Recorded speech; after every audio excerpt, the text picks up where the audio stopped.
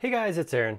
So I wanted to look at an example, just spend some time doing some cool modeling in SketchUp, um, but specifically an example around uh, countersinking screw heads.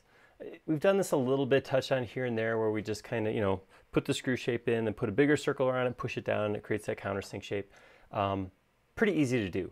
But there's a specific detail that came up in something I was modeling where I had like a domed over Phillips head screw, or it could be like a rivet or, or just a rounded over so it actually had geometry, it wasn't flat. And then that whole piece was countersunk down into like a little bit of a pit. So it was not the easiest thing to do, but once I did a couple times, I came up with a couple tips that I wanted to share with you on how to create this specific geometry. So let's dive right in. Okay, so there's a couple ways I want to show this. First, we're going to start simple. I'm just going to start with, let's, uh, here's a thing. it's a, uh, let's call it a, a board of some sort. So countersinking in itself is not too hard, right? So I start with a circle, and then I put another circle inside of it. And if I take this circle and I move it on the blue axis, I'm gonna hit the up arrow to lock in the blue axis. I can push that down. And for all intents and purposes, that's it. That's a countersunk hole. Now, if I, if I was just trying to draw a screw hole, I could pull this all the way through. And then that is a screw hole with a countersunk area around it. Pretty easy. So the, the specific detail that I was putting into the model I'm talking about was doming this over first. So I'm going to start by putting a circle right here in the middle. I'm going to put it on the green axis and pull it out to here. I'm to cut it in half. Now I'm going to select the outsides of this circle and just say follow me with this. That's to give me a dome. So that that's that's kind of a cool shape. That's a nice shape that you could put onto something right there. But just to take us a little bit further, I'm to select that shape and hit scale. I'm to push this down. We'll push it down to uh, just flush with the side there. Okay, there, there we go. So that was kind of the shape I was, I was putting in. Just to take it a little bit further, this was actually a Phillips head screw. So let's go, I'm to triple click and make this into a group. That way I can work on the surface here. It's not going to merge with anything. All right, over here, I'm just going to draw a rectangle, something like that. And then I will take those two shapes, go snap in the middle, modifier key and rotate to 90 degrees. So now we have a Phillips head type shape. I'm going to push pull that up, triple click and make that into a group. Now I want to push that into here and use solid tools to subtract out that Phillips screwdriver head shape. So first thing I do is line it up. I want to line up horizontally by moving it from the middle of this section and I'm going to hold down the shift or hit the left arrow key to lock on the green axis. There we go. Next one's going to move over on the red axis again, click in the middle there. Red axis, bring it over to right there. All right, looks good.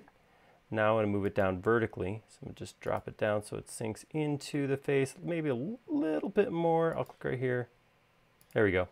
Now I just want to subtract that out. So I'm going to select it, use trim, or subtract. I don't really care. This cutter is disposable, so I can just use subtract and subtract that from this bottom space. Problem is, right now this bottom space is not solid. I can tell that because when I go into solid tools, it says, oh, well, it's not solid. I can tell because it tells me it's not solid. Um, if I go into my entity information and pick on this, it's going to tell me it's just a group, not a solid group. So I got something to clean up there if I want to be able to use solid tools to clean that up. And it's pretty simple. If I look at the inside here, remember when I cut that circle in half, I didn't clean this up. I didn't get rid of this other half. So I'm just going to double click and erase that half a circle. That should make this a solid group now. So now what I can do is subtract that, whoops, subtract this, select the cutter, hit subtract, hit the second one, and there we go. Now this is easy enough to duplicate in the group too because I can just select that geometry and I can modifier key, move it over, and it'll cut in there. Perfect. Boom. Just what I want. Okay. That's great. That's pretty easy to do. But what happens if I have something like this? So over here, I'm going to put uh, something like that. Remember to delete the bottom half this time. I'm to select this. I'm to say follow me with this half. So I have a dome. Now, I want this countersunk screw head around the outside of this dome. So let's, let's do that. Let's see how we can go about that.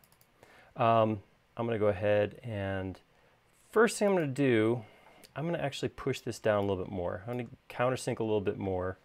So I'm going to grab it. I'm going to use this edge right here rather than using the blue snap. I can just select on a vertical space and push that down a little bit more. And then I'm going to grab this and say, make that into a group. I'm going to control C to copy that group. We could also go up to edit and say copy. I'm going to come out here. I'm going to say edit and paste. When I paste, it connects to my, my cursor and see as I move it around, it automatically snaps the orientation the face is on the sphere. This is good because this is what I want. I want this perpendicular to the face. So I'm going to go ahead and pick a spot to put it. And I'm going to zoom in here a little tighter. So it's, it's right up flush against here. I could do a little bit of, of uh, orienting and, and moving this around a little bit here. Uh, I just, for this example, I'm just going to scoot it out just a little bit on the green axis. So it comes out something like that. There we go.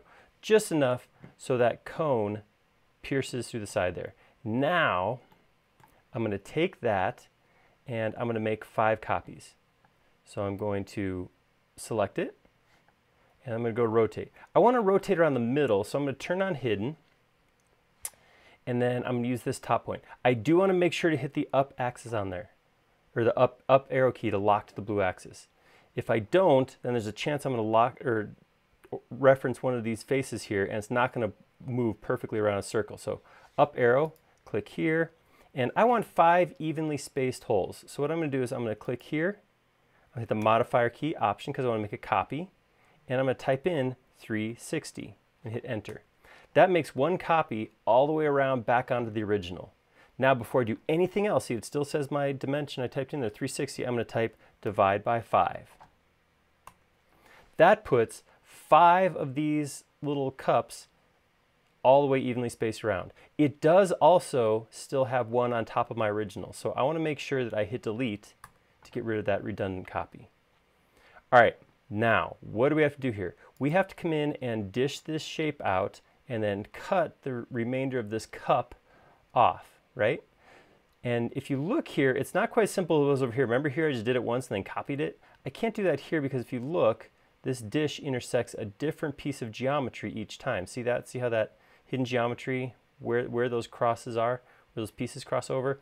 It's different. So what do I do with this? Well, here's, here's my thought on this. I'm going to double click, I'm sorry, triple click all of the dome and make it into a group.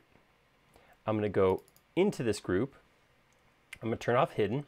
I'm also going to go to component edit and hide rest of model. Get rid of those cups. I don't need those right now. I'm going to select the surface of the dome, right click, intersect faces with model. So this says anything in the model crosses into this surface, cut it. That's going to be all of my discs. So I'm going to go ahead and just delete each of these.